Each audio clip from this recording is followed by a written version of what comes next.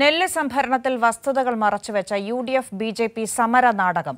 കേന്ദ്ര സർക്കാരിന്റെ കുടിശ്ശിക മറച്ചുവെച്ചാണ് തെരഞ്ഞെടുപ്പ് മാത്രം ലക്ഷ്യമിട്ട യു ഡി എഫും ബി ജെ പിയും സമര നാടകം നടത്തുന്നത്.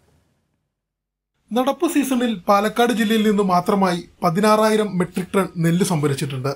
കഴിഞ്ഞ വർഷം സംഭരിച്ച നെല്ലിന്റെ മുഴുവൻ പണവും കർഷകർക്ക് കൊടുത്തു തീർത്തിട്ടുമുണ്ട്.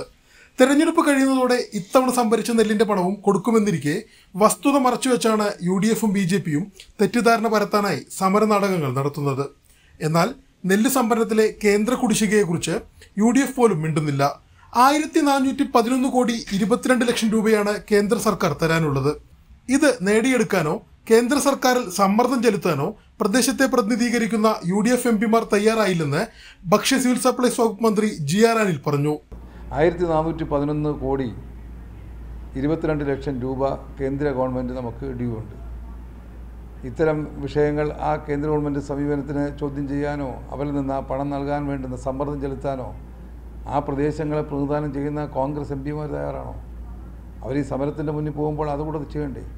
അങ്ങനൊരു സമീപനത്തിന് പകരം ഏകപക്ഷീയമായി കർഷകരോടൊപ്പം നിൽക്കുന്ന ഗവൺമെന്റിനെ കർഷകർക്ക് ശത്രുവാക്കാനുള്ള പരിശ്രമമാണ് ഇവർ ശ്രമിക്കുന്നത്.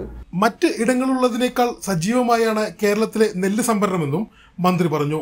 കേരളത്തിൽ മറ്റെവിടത്തേക്കാൾ സജീവമായും ശക്തമായിട്ടുള്ള ഒരു സംവിധാനമാണ് നെല്ല് സംഭരണവും നെല്ലുമായി ബന്ധപ്പെട്ട പണം കൊടുക്കുന്ന നടപടികളും കഴിഞ്ഞ സീസണിൽ കേരളത്തിൽ കേരളത്തിലൊട്ടാകെ സംഭരിച്ച നെല്ലിന്റെ ആയിരത്തി അറുന്നൂറ് കോടി രൂപയും കൃത്യമായി കർഷകർക്ക് കൊടുക്കുകയുണ്ടായി. അതേസമയം നെല്ല് സംഭരണത്തിന് കൂടുതൽ ഫീൽഡ് ജീവനക്കാരെ നിയമിക്കാനും തീരുമാനമായിട്ടുണ്ട്. മുപ്പത് ആളുകളെ കൂടിയാണ് കരാർ അടിസ്ഥാനത്തിൽ നിയമിക്കുന്നത്. തെരഞ്ഞെടുപ്പ് ലക്ഷ്യമിട്ടുള്ള U D F B J P സമരനാടകം തകൃതിയായി നടക്കുമ്പോഴും കാര്യക്ഷമമായ നെല്ല് സംഭരണവുമായി മുന്നോട്ടു പോവുകയാണ് സംസ്ഥാന സർക്കാർ. ആർ കെ ഫിറോഷിനൊപ്പം ശരത് ഓങ്ങല്ലൂർ.